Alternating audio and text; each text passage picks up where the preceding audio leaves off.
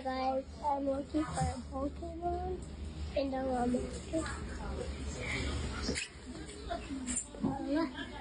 is? Pokemon. You see the Pokemon? Yeah? If I got the new, the cool one, and, and then I'm gonna win and wait this. What about this one?